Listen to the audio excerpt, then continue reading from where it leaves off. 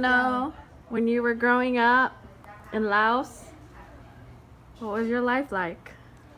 My life right it uh, have have good and have bad. Why was it bad?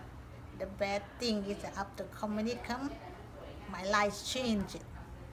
The before, I don't have to do nothing. Since I child I born, I have the people take care of me. My mom not working. I had the housekeeping. Everything goes to school, have the car, some driving, everything that. After the communist come, nothing at all. I have to walk to school.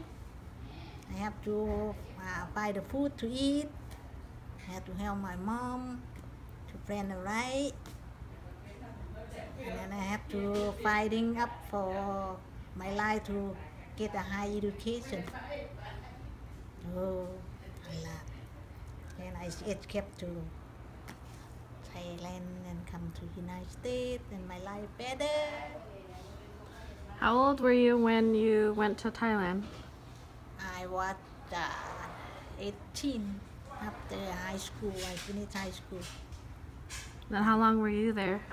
I've been there for three refugee camp for six months. Oh, only six months? Yeah, Mhm. and uh, been to I went to uh, Philippines for six months and come to United States in 1988.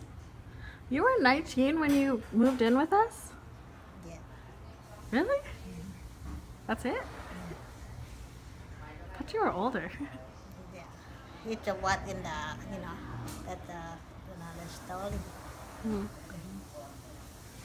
Oh, wait.